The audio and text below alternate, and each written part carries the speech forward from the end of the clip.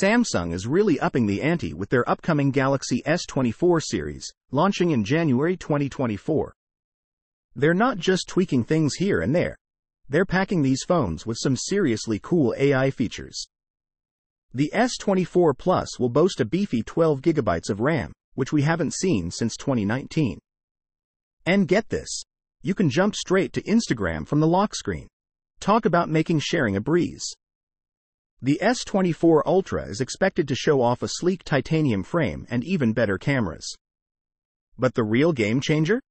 The AI capabilities. Samsung's new Gauss AI model is making everything smarter, from recommending apps to translating your voice calls. It can even whip up personalized wallpapers for you. This is Samsung's bold step towards dominating the AI powered smartphone arena. What do you think about these AI features in the S24 series?